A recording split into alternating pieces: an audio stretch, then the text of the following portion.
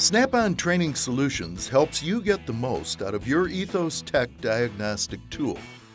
This training module covers the use of scanner data in Parameter ID View, also known as PID View. The scanner data display shows the live data parameter information from the vehicle's control module. To access live data, select Data from the scanner main menu. Depending on the vehicle, this may open a submenu of viewing options. Remember, you can scroll down with the touchscreen or keypad for additional selections. For this example, we will choose to view engine data from the submenu. A list of engine data parameters is shown along with a brief description of each parameter. The data appears in a digital text format on the right called PID View. The data values refresh as the vehicle sends new data. The speed may vary depending on the speed of the data being sent from the vehicle and the number of data parameters being viewed. Scroll down to view all available data.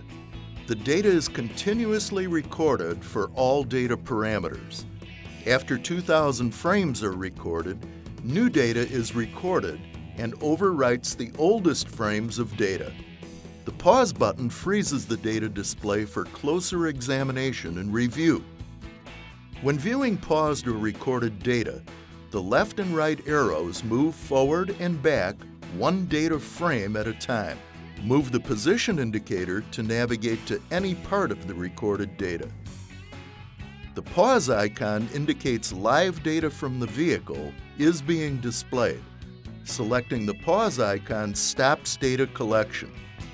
You also have the option to clear the data buffer and start over. This is useful when vehicle conditions change and you want to record and view new frames of data.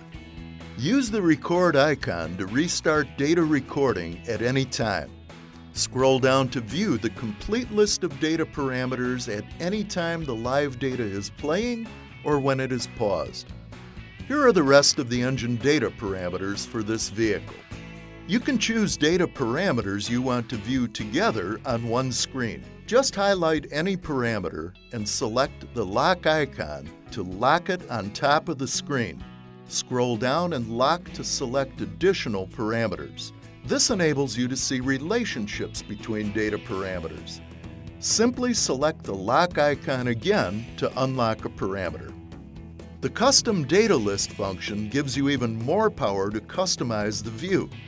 Selecting the Custom Data List checkmark opens a menu for selecting parameters to display. Checkmarks to the left of the data parameter description indicate which parameters are selected for display. Here we see the Select All icon. Use it to hide or display all the data parameters. Touch once to select all data parameters in the list. Touch again to deselect all parameters in the list touch the Select button on the toolbar to add a parameter to the custom data list. Touch it again to delete the checkmark and delete the parameter from the list. Select as few or as many as you want. When you have created your custom data list, use the back arrow to return to the data display and view the list. Custom data lists can significantly accelerate the speed of the data display by processing only the vehicle data that you need so you can find tough intermittent failures faster. The sort function is another handy way to find and view the parameters you need.